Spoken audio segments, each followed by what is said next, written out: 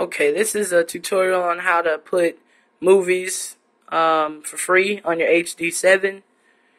First of all, this has been a long time, so been a long time since I made a video. Bear with me. Okay, first of all, make sure you have Zune on your computer. You can get it for free at www.zune.com. Uh, pretty much. Okay, second of all, make sure you have a converter. I have AVS Video Converter 6.4 make sure you format this whatever file you want into MP4 format, not DVD, MP4. You go over, hit your browse, and you pretty much pick whatever you want. I'll just click on anything for now. Pops up, it's going to save wherever it saves.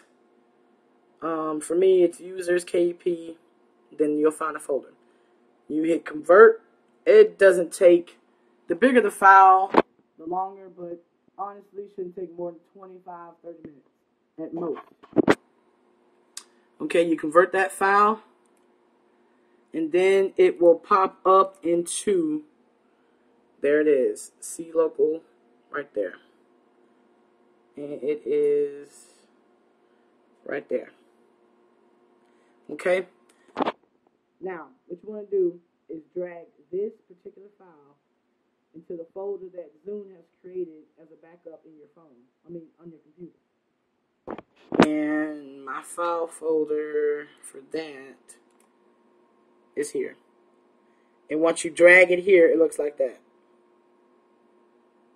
You know, I have three things here already. Okay, so once it's there, you right click and you go to play with Zune. I am the stone the builder with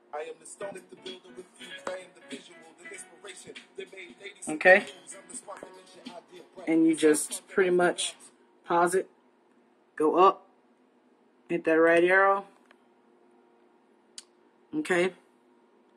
Then you hit quick play just to kind of shuffle it, go right back to collection, and it should be in your video collection. And all you do is you take it, click, hold, drag all the way to that this will be black. You see that phone icon? It's not black because my phone is not connected. I'm using it to record right now. So you put it in there, pow, and it syncs. It, that's all it does. It syncs, and once it syncs, it's in your phone. That's pretty much the gist of it. You know, pretty much.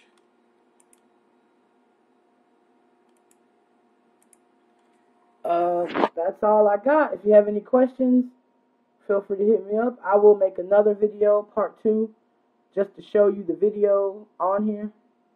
I'm sorry I can't do it because I'm using the phone, but I'll make another video for it. Thank you, and have a nice day.